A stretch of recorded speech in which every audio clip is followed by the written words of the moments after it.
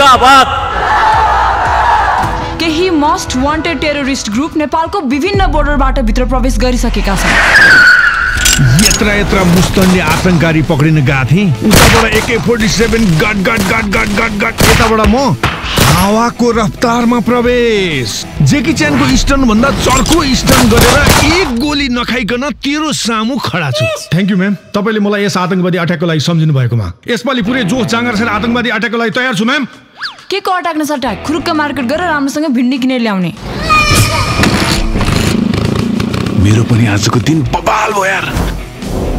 आज एउटा ठुलो मान्छेको भण्डा फोड्दै। यो भन्दा उत्कृष्ट ब्रेकिङ न्युजहरू के हुन सक्छ सर? हाम्रो च्यानलको टिआरपी ब्रेक नै हुन्छ सर। Thank you sir. गालामा चुम्मा गरेर खुट्टै ढोग्ला जस्तो गरे यार। त यो च्यानलको सबैभन्दा घटिया सबैभन्दा काम नलाग्ने पत्रकार।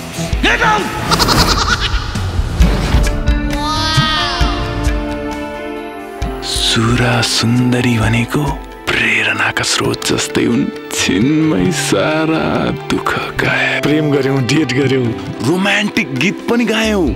तर तर के?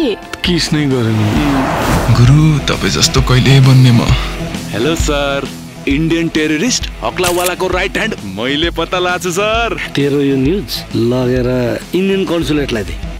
मेरो च्यानललाई होइन हल्का सेल्फी लिएको।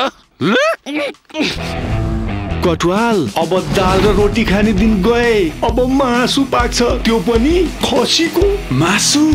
त्यो पनि खसीको? तैँले सोचिरहेछस् होला दुई झापट के को लागि? मलाई मन लाग्यो। हेलो सर म रामचन्द्र कटुवाल बोलिरहेको छु। कहाँ छस् तँ र तेरो तपाईँकै घरको टोयलेटमा कमेडी अति भयो या अब एक्सन सुरु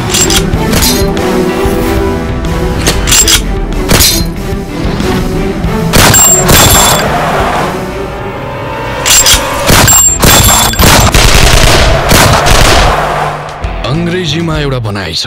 वेलकम टु हेल खड्काजी खड्काजी के भयो? नरान्द्रहीको बल लाउने समय यही हो कटुवाल। देखाइदिउँ हामी पनि को हो भनेर। एक समय थियो राजा पृथ्वीनारायण शाहको र यो समय हो हामी दुई बादशाहको।